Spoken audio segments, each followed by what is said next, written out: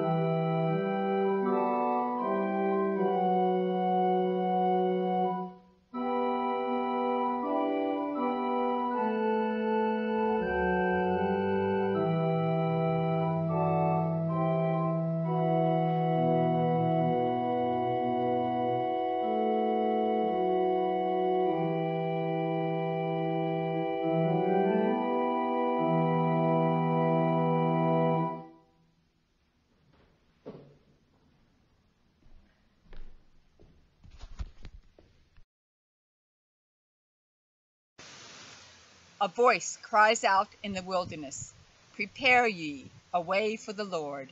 Every valley shall be lifted up, and every mountain and hill be made low. The uneven ground shall become level, and the rough places a plain. Arise and ascend. Let us go to the highest and most visible places, and let us proclaim glad tidings of peace. Christ is coming. Do not be afraid. Lift up your voices so that all may hear and find peace. Christ is coming. Here is our peace. Although as sheep we have often gone astray, God has gathered us with arms of compassion. We are protected in God's bosom and led to quiet waters. Let us light this candle as we proclaim peace to all. We have been gathered. Let us share our song of peace with one another. Today we light the second candle on our Advent wreath, the candle of peace. We celebrate and remember that our God offers each and all of us a peace that passes all understanding, a peace that shines most fully in the one who is coming into the world once more.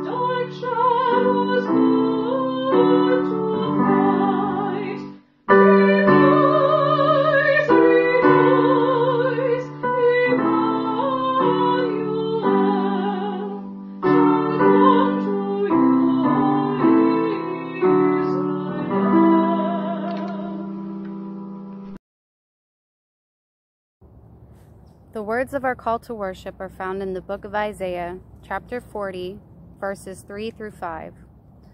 A voice cries in the wilderness Prepare the way of the Lord, make God's way clear. Lift up every valley, lower every mountain, for the glory of the Lord shall be revealed.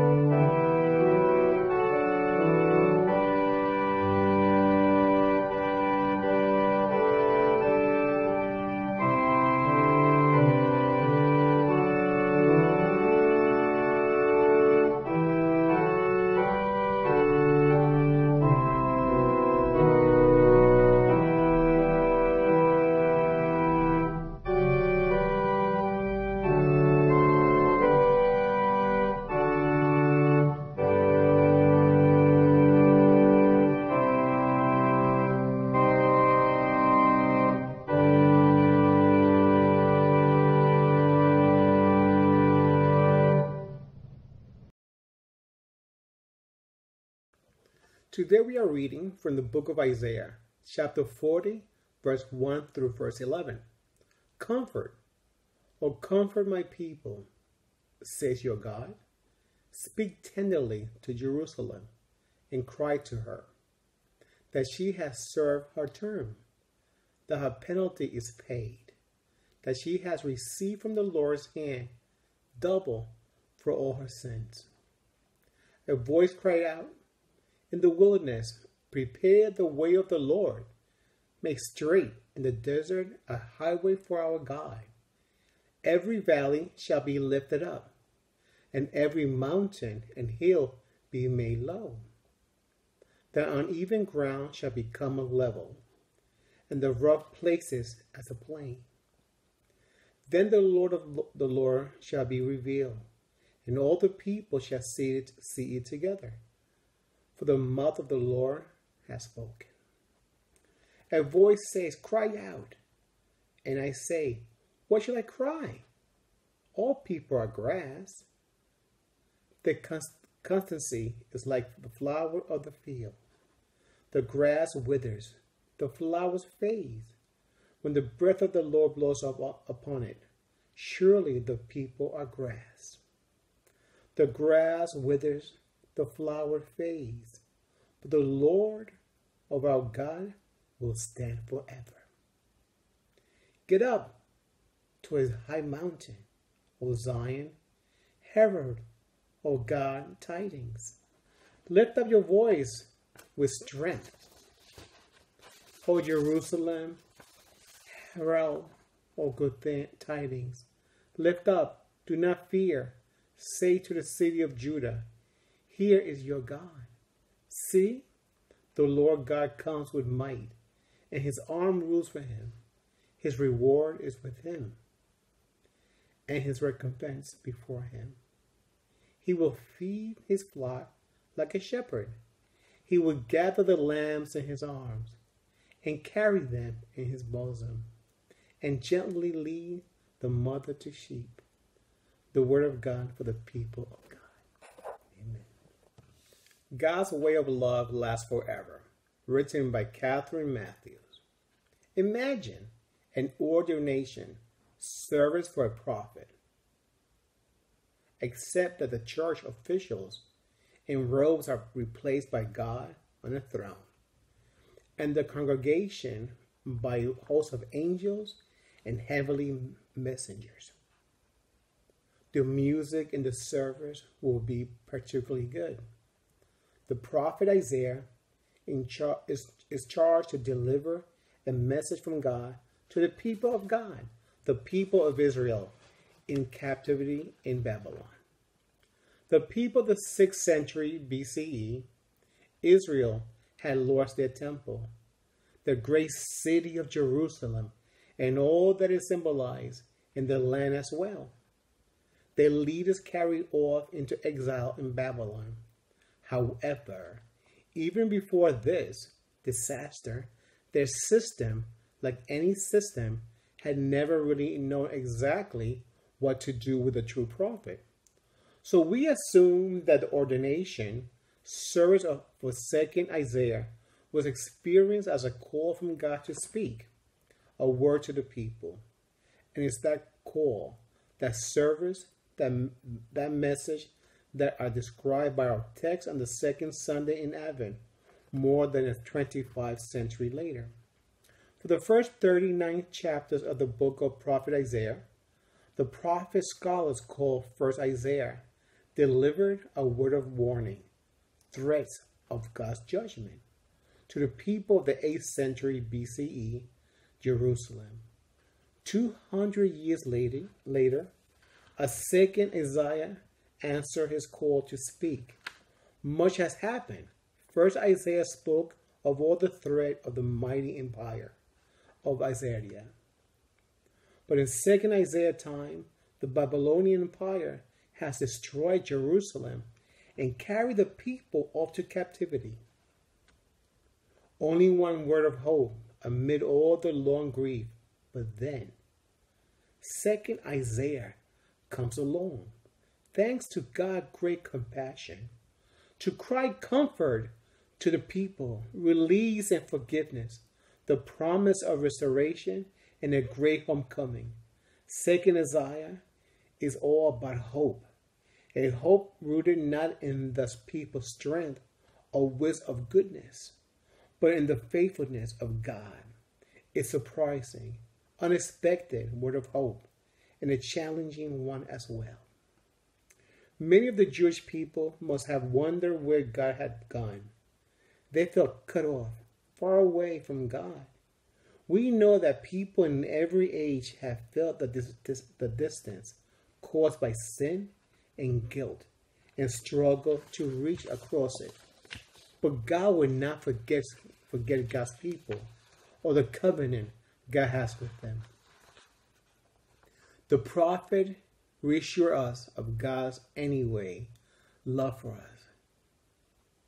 We sin, but we can always count on God's faithfulness, on the word of God that will stand forever.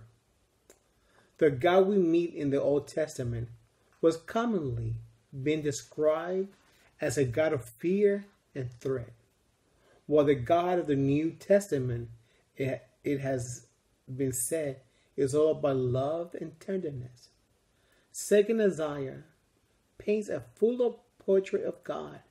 Yes, the God who comes, like ancient deities, including the gods of their capture, Babylon, is mighty and glorious and powerful. But the God of Israel is also gentle shepherd who feeds the flock, gathers up lambs and hold them close. The people then are urged to make a way for their good news in their lives, transformation of their situation. The power that be, in this case, the fearsome empire of Babylon, have been overturned. The mighty have fallen, and the little ones can dance with joy. All of this is good news and the stuff of joy, but it's also unbelievable while you're still sunk in despair under the heel of oppressor. At this ordination, second Isaiah is told to speak tenderly to Jerusalem. So in the second of Advent reflection in the church, a season that once was potential season of preparation. While the world has already started its celebration in decoration, parties, music, and shopping, our heads have some work to do before our hearts are carried away by holiday joy.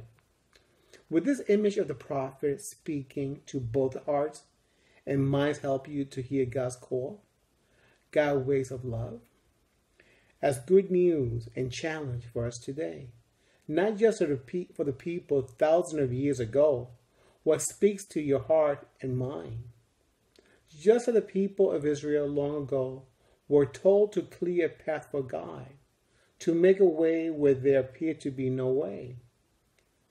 The text tells us, two, to make a way for God to come into our life, to remove the obstacles of impediments, to tear down the rather than build up walls, to clear out all animosities and grievance, to cut back the weeds of doubt and greed, not to just make a nice little bed for the newborn, but to open up our life to transformation grace. In Advent, we atone our hearts and minds to many ways that God enters our lives and the life of the world, the holiness and the everyday reality of our lives and mo- moment, momentous lives, a nation in every age. The scholars writing on this, this text focus little on our private holiness and personal sins, and much more on the way we collectively organize our lives and the deep longing of the people for hope in the midst of larger events in history. However, we can't underestimate the collective effect of individuals seeking to welcome God's grace into their own life and to encounter God each and every day in most unexpected but wonderful filled ways. As Anne Lamott has said about this season in Advent, we show up when we are needed with grit and kindness. We try to help. We prepare for an end to the despair, and we do this together. A new Jerusalem, a homecoming to great city, restore as the dream and the promise of this text. Thousands of years later, we have experienced heartbreaking loss and discouragement too, including war, poverty, violence, irreparable harm to God's beautiful creation, economic injustice, and hatred. Perhaps we are becoming numb to the news. People are gunned down in the streets of our cities. Police officers and young men of color, as well as those victims of mass shooters. Terrible, heartbreaking, tragedies for everyone concerned. And they appeal and outrage us. And then we go back to our lives and hope and pray that our loved ones will never be in that line of fire. We feel the wrenching sorrow of such laws and the violence and the drenches of our culture. The world in which, we, which it all unfolds, we feel the rent of the fabric of our neighborhoods, our cities and towns, and every community and the nation itself and the world that grows smaller each day. The world in which we are all neighbors, all sisters and brothers, longing for peace. Many of us struggle to make sense of, it all, offering our reactions and suggestions in social media threads, along with our anger and grief, placing blame and holding accountable various individuals rather than all, all of us for the unnimerly things that are happening every day, everywhere. Our minds and hearts grow weary, almost numb and immobilized. We might find we might we might find ourselves longing even more deeply for the word of comfort for that larger shalom that we imagine and lean towards during, towards during, during this Advent season. The promise of peace and healing and reconciliation. No more war, no more violence, no more threats, no more fear, no more heartache. Can we even imagine such a time? We live in the midst of our own Babylons our own overwhelming brokenness, and seek to find the Son of God promise that lifts our spirit and our eye to the hidden reality of shalom, breaking forth in spite of our best, or rather worse, efforts to keep it buried deep below our fragile and under-exercised faculties and of hope and imagination. In this Advent, in this season of Advent, what are you preparing for? What sort of road needs to be made broad and smooth in your heart in preparation for the coming of the one who shepherds us? Is it, is it easier to believe in God when you're in captivity than is to be believe the captivity is really over? What are the signs that things are about to change. Are you courageous, courage enough to hope for such a thing to happen? Amen.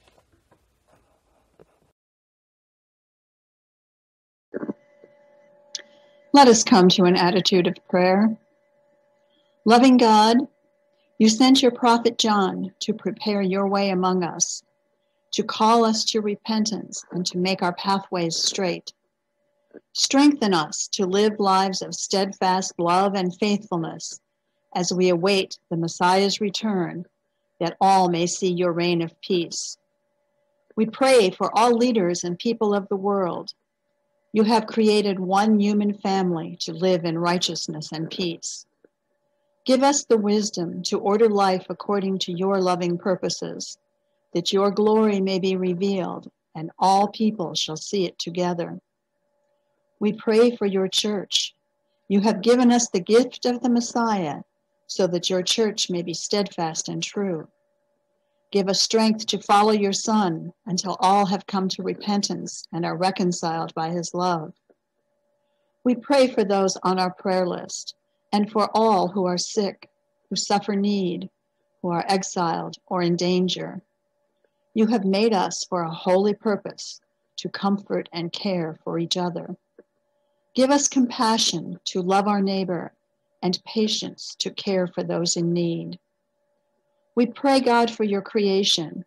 Your faithfulness springs up from the ground, and your goodness looks down from the sky. Rid us of laziness and greed that diminish life as you teach us to care for your creation together. Let us remember those who have died. One day in your presence is like a thousand years, and a thousand years is like one day. Make us one with the saints who have found their eternal home in you.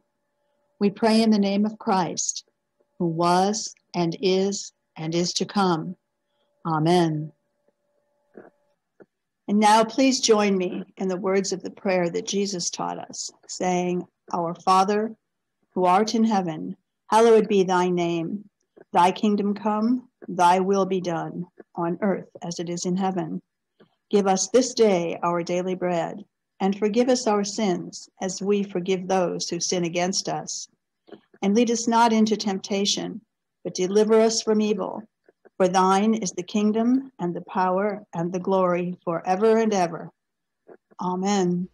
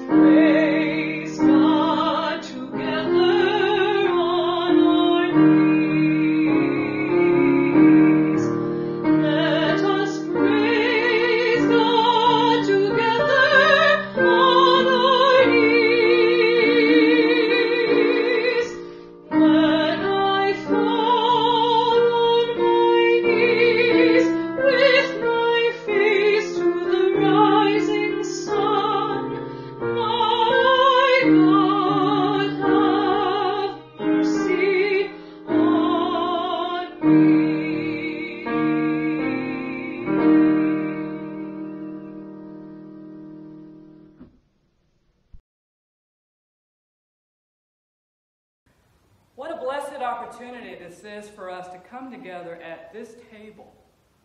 For this table represents the wonderful Advent season, the time that we are in right now, the time in which we are preparing for the ultimate promise that is to come. For we are reminded with the candle of hope that this table also represents the hope which we already have within us, the hope of that promise that is to come. And we just have the candle of peace. Well, this table also reminds us that God provides peace in a way that no other source can. For it was at this table where Jesus gathered with his closest friends, those who truly knew him, those who walked with him, and those who talked amongst and with him as well. For they shared a sacred meal. It was at this table where Jesus took the bread and blessed it, lifted it up, gave God thanks, and broke it. And he said, Now this bread represents my body that is for each and every one of you. For whenever you eat this, you do this in remembrance of me. Let us now partake in the eating of the bread.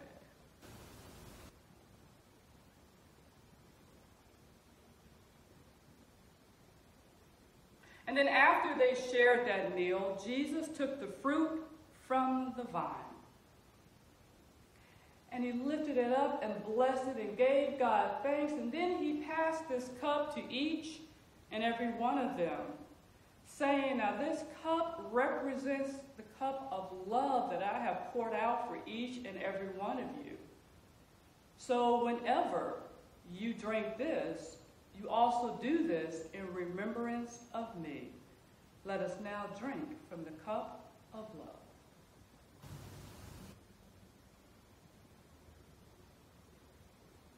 Let us pray. God, we thank you. We thank you for your promise. We thank you for the hope that we have within each and every one of us. We thank you for the peace that we know that is to come. The peace and only the way in which you can provide. As we continue through this Advent season, may we reminded of the ultimate life that is to come, the light of reassurance, the light that lets us know that all is well.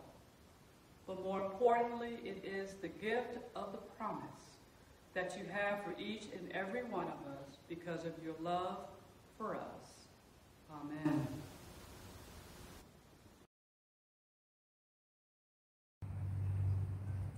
May the God of hope, who created the sun, the moon, and the stars, bless you with new life. May the God of hope, who promised Abraham a legacy through the stars, bless you with abundance. May the God of hope, who led the wise men to Jesus with a star, bless you with courage. Go out into the world and search for the star that God has sent to guide you. Amen.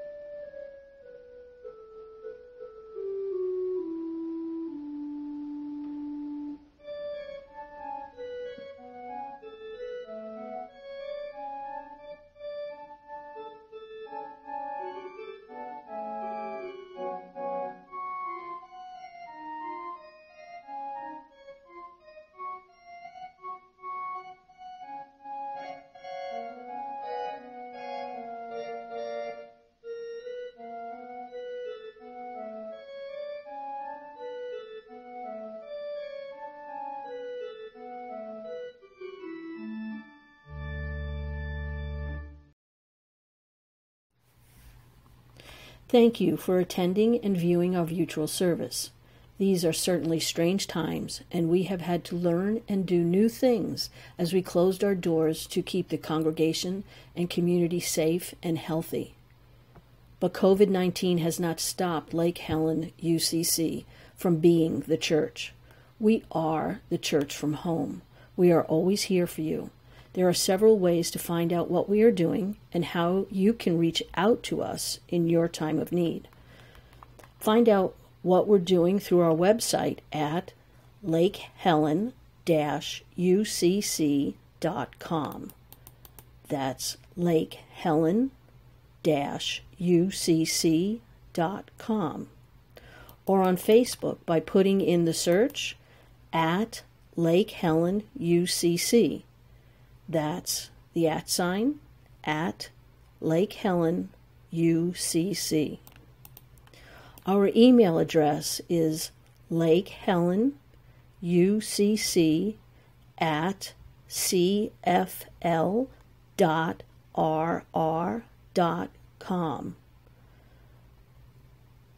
Again, Lake Helen UCC at cfl dot rr dot com.